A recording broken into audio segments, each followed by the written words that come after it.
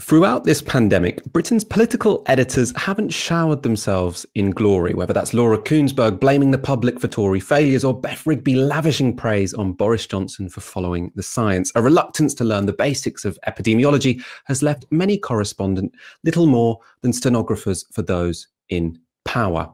However, one of their number did discover their critical capacities this weekend. You'll find out in a moment who it is. First, we start our journey with this photo. So, this was put out by Downing Street of Johnson receiving a call from President Joe Biden. So, you can see he's got his thumbs up. He's very happy because apparently he was the first European leader to get that call. Obviously, this government doesn't believe in playing hard to get. Uh, this is not like, oh, Joe, you've you've called me. So nice to speak to you. I was a bit busy, but whatever. This is saying, oh my God, Joe, you've called us. Oh, we're so happy. The special relationship still exists.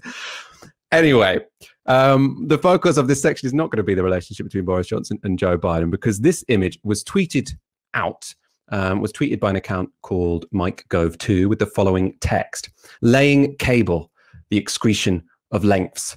Lying cable, when the phone cord in the mirror is from a different picture after your £100,000 taxpayer funded photographer has finished photoshopping your spontaneous chat with Joe Biden.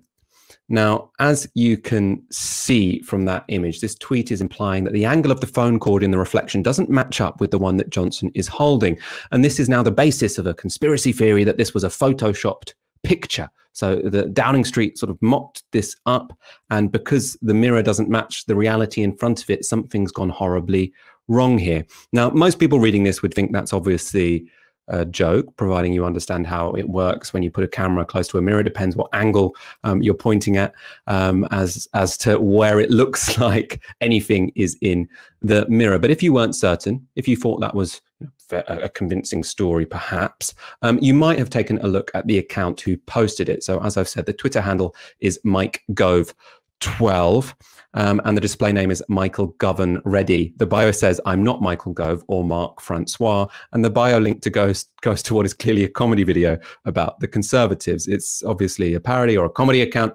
And you'd think that anyone with basic social media literacy would be able to recognize this. Indeed, it's precisely the kind of media literacy you'd expect from Britain's leading journalists. In fact, you, you, you'd, you'd expect it from an entry level journalist to work out that that was a parody account.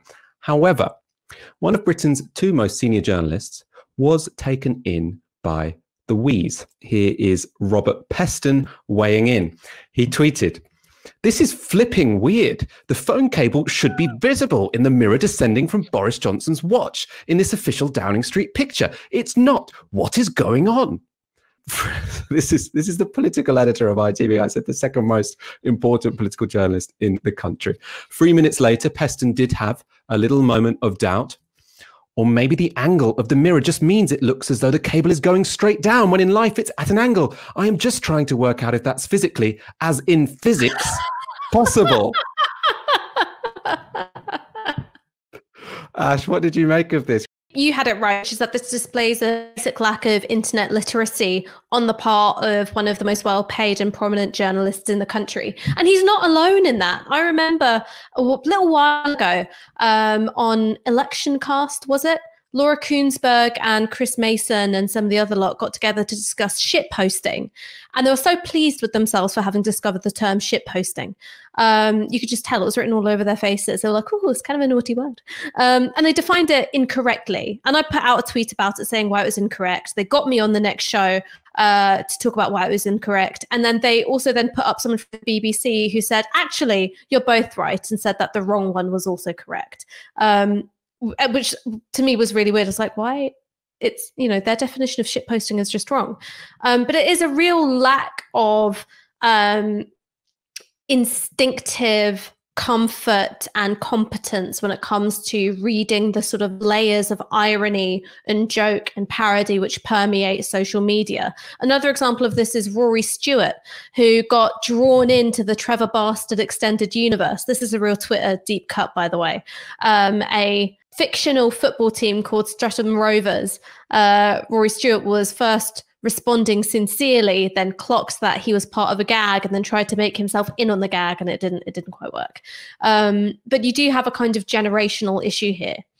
What I don't understand is why, if you were Robert Peston, even if you thought that this was a particularly legitimate halal account, why you wouldn't just think maybe that's a bit of a weird angle, or maybe it doesn't even matter that much. And I think what that indicates is something deeper than just the basic lack of sort of core competencies when it comes to using social media. What it indicates is what they think their job is. It's not to hold the government to account on the big picture stuff, because when it comes to matters of life and death, well, they must all be trying their best. What they want to be involved with is sort of gossip, a very minor, petty scandal, which can kind of nod at their own insider status uh, as part of, you know, the hallowed few allowed in or around the halls of power. And so I think that that's why Peston was drawn to this in the first place to tweet about. It's exactly that kind of low stakes, high drama you know, petty nonsense that lobby journalists love to talk about. They don't like talking about the important stuff. You might be watching this thinking, you know, look, it, it, Robert Peston is the political editor at ITV, but he's also just an, an ordinary guy with a Twitter account. Maybe, you know, it, this is very separate from his job. When he's doing his job, he's asking important political questions. And when he's on Twitter, you know, he's just shit posting in the morning, like maybe we all do on a Sunday morning. Maybe he was hungover. Um, the next tweet, though, shows how relevant his job as a political editor here was.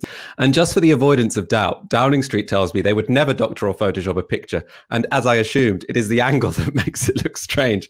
But it is certainly strange. Um, no, it's not strange. It's, it's the most banal thing on the planet. But he called oh. Downing Street. Can you can you imagine being that close to Downing Street that sort of like you you get to call them up just to say that picture looks a bit weird. Is that is that angle on that phone line correct? Is is that really Boris Johnson? But that's the game. That's the game. You are granted access in return for a certain amount of obsequiousness. And it's not something which is an explicit contract. It's not something which, you know, Peston or Kuenssberg or anybody else is told, which is you will have a career where you get the scoops, you have access to everyone you want to talk about as long as you're not that critical. It is a sort of drip, drip, drip throughout the course of their careers. You have the right mates, the right networks, the right contacts, as long as you're never that much of a threat to the status quo. And that's why, you know, Jeremy Corbyn had some very competent uh, press officers, but they still never had that same level of full on integration with the, you know, sort of um, Westminster, you know, media political industrial complex as the Conservative Party clearly do, because it's much deeper than that and much more entrenched than all that.